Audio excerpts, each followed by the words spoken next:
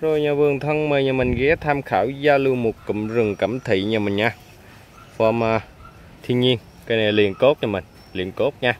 Đây cụm rừng.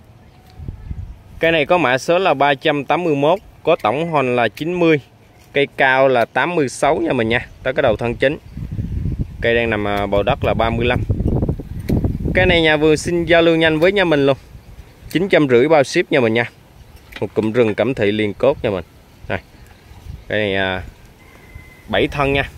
Bảy thân, Lớn nhỏ nha. Rất là điều luôn. Cái này về mình à, lên cái chậu giam nó nữa là ok nha. Cây sống khỏe, xanh tươi luôn nha mình. Cây rất kia là sung luôn nha. Nhà mình à, xem tham khảo luôn. Được duyên ưng ý cái nào cứ việc ai bóc nhà vườn ủng hộ luôn nha.